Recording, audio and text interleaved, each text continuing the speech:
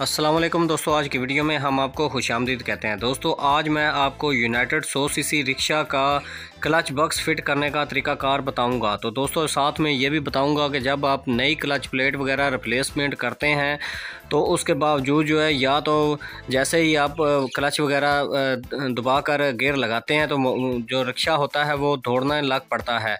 Clutch की adjustment ठीक तरीके से नहीं होती। तो इस वीडियो में मुकम्मल तफसील के साथ बताऊँगा। तो यहाँ पर दोस्तों, मैं आपके आपको क्लच प्लेट की जो मुकम्मल जो है, डिटेल बताऊँगा कि जब आप नई क्लच प्लेट लाते हैं तो तो उसको किस तरीके से आपने चेक करना है किस तरीके से आपने उसको देखना है कि ये ठीक है या नहीं। यहाँ पर आप देख सकते हैं कि इस तरह से आपने ए, ऐसे एक एक करके क्लच प्लेट जो है आगे पीछे करके आपने दूसरी तरफ़ से चेक करना है कि क्लच प्लेट में कहीं गैप तो नहीं है। ठीक है इस तरह से।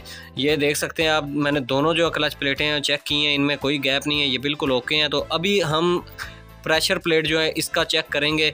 इसको भी वैसे ही उसी तरीके से चेक करेंगे। ये देखें, इसमें भी गैप जो है वो नहीं है। तो अभी हम जो नीचे वाली प्रेशर प्लेट है, वो ऊपर वाली पर ला कर चेक करेंगे। ये देखें, इस तरह से अगर आप इनका गैप चेक करेंगे तो अगर गैप होगा तो आप जो है फौरी तौर पर जो प्रेशर प्लेट है वो रिप्लेस कर दें। अगर गैप नहीं है तो आप इसको बिल्कुल बेफिक्र होकर फिट कर दें। तो किस तरीके से फिट करेंगे, इस तरह से मैं आपको यहाँ पर अभी दिखा रहा हूँ कि आपने किस तरीके से फिट करना है, ये देख सकते हैं आप। इस तरह से आपने सबसे पहले क्लच बक्स के अंदर जो है, स्प्रिंग रखने हैं, उसके ऊपर आपने असम्बली को रखना है। तो असम्बली की जो फिटिंग है, वो आप वीडियो में देख सकते हैं, किस तरीके से आपने इसकी फ़िटिंग करनी है। तो इस तरह से जहाँ पर इसकी फ़िटिंग होगी, वहाँ पर आपने इसको नीचे, ऊपर नीचे जो है दबा कर देखना है कि ये काम कर रही है या नहीं कर रही।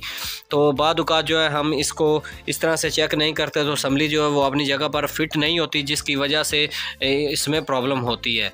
तो यहाँ पर अभी हम इसका जो मैं आपको थोड़ा सा एंगल चेंज करके यहाँ पर सामने रखता हूँ।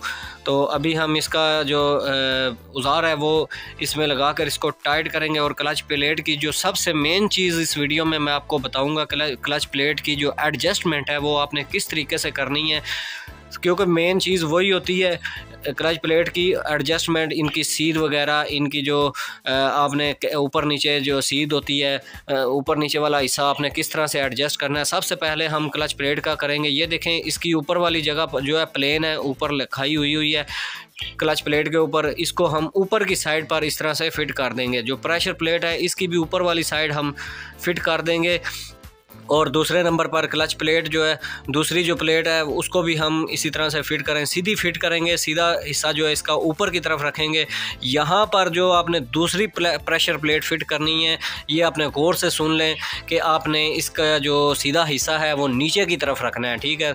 तो बाकी जो है, क्लच प्लेट और प्रेशर प्लेट, उसकी आपने जैसे पहले क्लच प्लेट और प्रेशर प्लेट में फ़िट किया था, इसी तरीके से आपने ऊपर की तरफ़ फिट कर देना है, ठीक है? तो अभी हम यहाँ पर लॉक डालेंगे।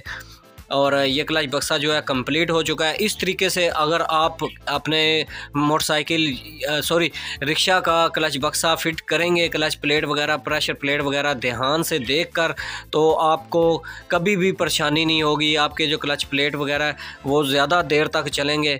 तो ये जो एडजस्टमेंट, ये फिटिंग मैंने की है, ये ओरिजिनल जो यूनाइटेड सोर्स इसी रिक्शा का कंपनी की फ़िट करती है, उसी तरीके से मैंने इसको फ़िट किया है। ठीक है, इसी तरीके से अगर आप फ़िट करेंगे तो आपका जो क्लच बक्सा है वो क्लच प्लेट वगैरह जो है वो ज़्यादा देर तक चलेंगी।